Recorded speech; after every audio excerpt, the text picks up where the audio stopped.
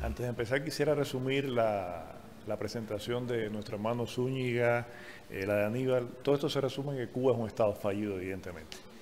El modelo político, económico, social ha fallado, le ha fallado al pueblo de Cuba, eh, le falló a los propios personas que confiaron desde un principio en esa revolución y que sinceramente ha sido un fracaso.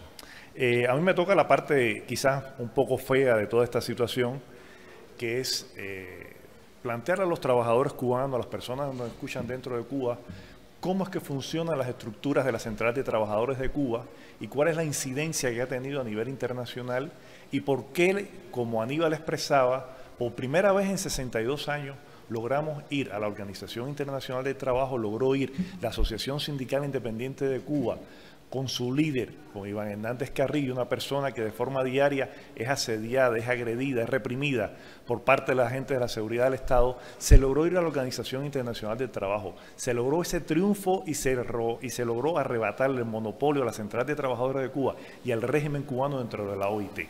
Eso nunca lo han planteado ellos en ninguno de sus medios de prensa. Nunca han dicho que tienen un caso pendiente ante la Organización Internacional del Trabajo y que le están pidiendo la Organización Internacional de Trabajo, específicamente el Comité de Libertad Sindical y también eh, en los cuatro reportes, como bien expresaba Aníbal, se le está solicitando al régimen cubano la aceptación, el reconocimiento de la Asociación Sindical Independiente de Cuba como una organización que verdaderamente es una opción a la Central de, de Trabajadores de Cuba. Eso es lo que a ellos nunca le pueden perdonar a la Asociación Sindical Independiente y específicamente nunca le van a perdonar a Iván Hernández Carrillo.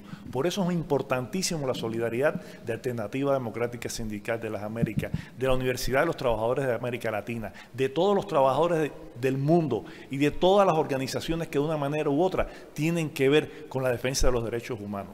Iván tiene una medida cautelar de la Comisión Interamericana de Derechos Humanos. Iván es premio democracia de la, Fundación Nacional para la Democracia. Iván también tiene el premio del Directorio Democrático Cubano, el premio Libertad. Iván es una figura reconocida tanto dentro de la isla como en el exterior. Eso, lógicamente, el régimen cubano no se lo perdona Iván Hernández Carrillo. La Central de Trabajadores de Cuba, desde el año 1939, en que fue su fundación, defendió históricamente las conquistas de los derechos de los trabajadores cubanos durante todas las presidencias y durante eh, situaciones difíciles que existieron dentro de Cuba. Lamentablemente, en el 1959, en el décimo y en el onceno, y en el onceno Congreso de la Central de Trabajadores de Cuba, evidentemente el régimen veía un peligro en la Central de Trabajadores de Cuba, veía un peligro en que los dirigentes sindicales históricos de esa central tuvieran eh, la representación de los trabajadores cubanos. Y lo primero que hicieron fue tratar de desmontarla y la lograron desmontar. La desmontaron y lo que crearon fue en la práctica un departamento estructural del Departamento de Organización del Comité Central del Partido. La Central de Trabajadores de Cuba está, en primer lugar, controlada por el Partido Comunista de Cuba y por los diferentes organismos del régimen cubano. La Central de Trabajadores de Cuba responde desde el punto de vista ideológico, como pudimos ver a raíz de los hechos del 11 de julio, donde la primera organización sindical, donde la primera organización de masa dentro de la isla que salió a apoyar que fueran reprimidos los trabajadores cubanos que se encontraban en las calles reclamando sus derechos, fue la Central de Trabajadores de Cuba. Fue un gordito que dirige eh, la Central de Trabajadores de Cuba, que nunca en su vida ha sido dirigente sindical, que lo que era el dirigente, que lo que era era el primer secretario de partido en la provincia de Temisa. Ese señor Ulises Gilarte de Nacimiento, igual que su antecesor Pedro Ros Leal, jamás en la vida sudaron la camisa, jamás en la vida fueron un surco, jamás en la vida cortaron cañas, jamás en la vida pusieron un ladrillo en una obra. Esos son los dirigentes sindicales que están en Cuba. Ulises Gilarte de Nacimiento, igual que sus tres antecesores, es decir, Roberto Veiga Menéndez, después Pedro Ros Leal, ahora él, los tres fueron miembros del Buró Político.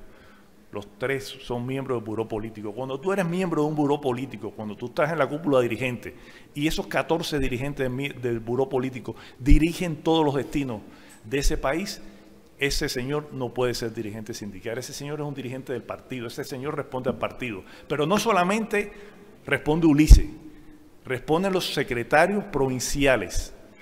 Las 14 provincias del país tienen un secretario provincial. Esas estructuras están muy bien diseñadas, están diseñadas en base a las históricas eh, estructuras que tenía la Federación Sindical Mundial en los diferentes países de Europa del Este, donde funcionaban de que el partido en la práctica era quien dirigía las centrales sindicales. Esto se llevó, eh, Aníbal hablaba del Código de Trabajo del 2014, eh, también lo mencionaba Iván, ellos llegaron hasta el punto de que como recibían tantas críticas por parte de la Organización Internacional del Trabajo referente a la contradicción que existía entre la legislación cubana y los convenios que tenía firmado el régimen cubano ante la Organización Internacional del Trabajo, basta señalar que Cuba tiene 90 convenios, de estos 90 convenios, el 79% han sido firmados antes del año 1959, es decir, los convenios fundamentales están firmados antes que Fidel llegara a tomar eh, la dirección del país por la fuerza como lo hizo. El régimen cubano continúa eh, de forma constante oponiéndose a todas las decisiones que se derivan del Comité de Libertad Sindical, que se derivan de los cuatro reportes del Consejo de Administración y lo que nosotros más tememos, porque bueno, dentro de la isla ya tenemos ejemplos de cómo el régimen responde a los principales opositores. Está José Daniel Ferrer detenido, y como incomunicado nuestra solidaridad con él, nuestra solidaridad con su familia, exigiendo exigimos desde este foro la libertad de José Daniel Ferrer, también la de Félix Navarro, también la de Sailí Navarro, la hija de Félix, y de todos los prisioneros políticos que se encuentran eh, detenidos desde el 11 de julio.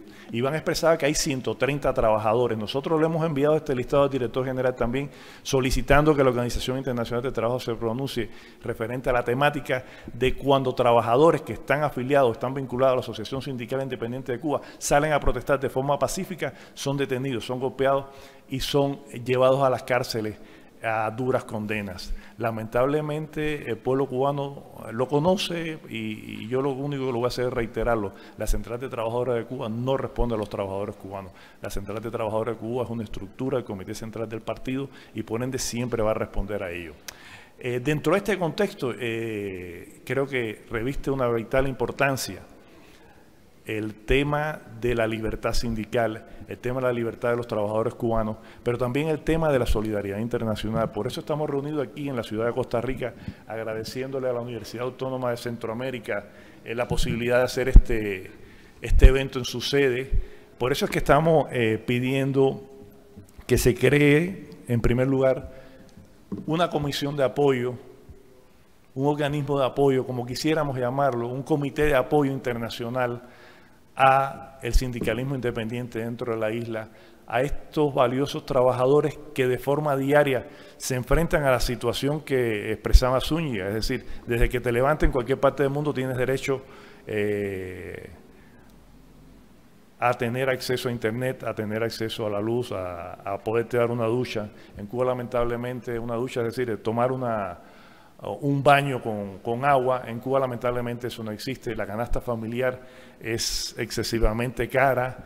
Eh, expresaba un dato muy interesante, el poder de compra del salario. El poder de compra del salario de Cuba es uno de los más bajos del mundo. Los niveles de productividad del país también son pésimos. Cuba se encuentra en recesión, es decir, si, si ahora se habla de la recesión a nivel global que el gobierno cubano ha tomado como pretexto, al igual que tomó eh, el COVID como pretexto para establecer medidas de represión en contra de la población.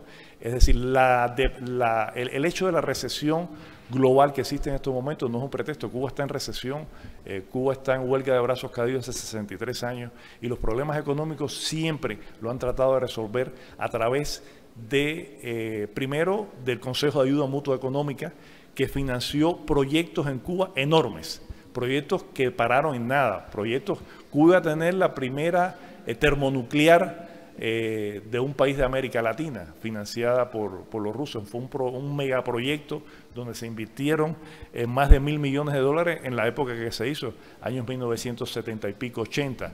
Eso en la actualidad sería, eh, a como está el dólar, serían 5 mil o 6 mil millones de dólares. Ninguna de, esas, ninguna de esas obras que se invirtieron en aquella época han tenido repercusión en la mejoría del trabajador cubano, en la mejoría de la población. Y hemos llegado a estos niveles donde la población cubana está con 16 horas de apagones, donde no hay hospitales, donde no hay medicina, donde dependen de la caridad pública, de donde dependen de la remesa de esos miles de cubanos que en un momento determinado el régimen expulsó, que los catalogaron de gusanos, de personas que están radicadas en Estados Unidos, que están radicadas en Europa y que son los que sostienen realmente la economía cubana en estos momentos.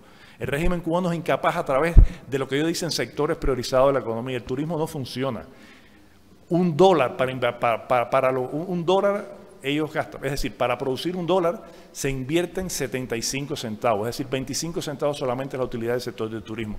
El gobierno cubano, eh, la economía cubana está totalmente fracasada, está en un proceso de quiebra y de ahí la importancia que los trabajadores cubanos tomen conciencia de esta problemática, el pueblo cubano en general, los estudiantes que estuvieron muy presentes en las calles de Cuba, esa juventud que prefiere tirarse a, emigrar en los últimos 10 meses, para que exista una idea, han emigrado de Cuba 200 mil personas. Cuba se está descapitalizando, se está descapitalizando porque las personas jóvenes, las personas de mejor formación son las que se, está yendo, se están yendo del país. Y lógicamente eso va a tener un costo a la larga. Cuba es uno de, de los países de América Latina que tiene una menor tasa de natalidad. La fuerza laboral en Cuba tiene un altísimo nivel de envejecimiento. Entonces, eh, es lamentable. Pero bueno, por suerte, eh, como decía Iván, eh, estamos próximos y la única manera, el único camino que tienen los cubanos, en primer lugar, es que ellos mismos rompan esas cadenas y se tiren a las calles y eso sería de forma definitiva. Es decir, salir a la calle, van a contar con el apoyo internacional. Aquí está el apoyo de los sindicalistas de América Latina, está el apoyo del exterior, está el apoyo de todos los exiliados que, que radicamos de una forma u otra. Y eh, también desde este podio pedirle a, la prensa nacional cubana, a los periodistas que sean profesionales, por favor. Eh, hagan las investigaciones que tengan que hacer. Eh, reflejen la realidad del pueblo cubano. No definan ciegamente una sociedad que ya no existe, un partido que es un fracaso, una sociedad y un modelo político que ha fracasado. Ustedes son responsables también del futuro de la isla. A los militares cubanos que cuando la cúpula dirigente dé la orden de atacar a esos trabajadores que estén en la calle, no se presten a eso. No se presten a eso. Los delitos de lesa humanidad no caducan y ustedes pueden ser llevados por obedecer las órdenes del régimen a la cárcel por muchísimos años. Nadie quiere eh, enjuiciar a los militares cubanos, nadie quiere enjuiciar a la policía cubana, pero sí vamos a tener el derecho de llevarlos a juicio a aquellos que tengan las manos manchadas de sangre. En Cuba la gran parte de la población, la gran parte de muchísimos dirigentes tienen las manos manchadas de culpa. Culpa no significa cárcel, sangre significa cárcel. Muchísimas gracias.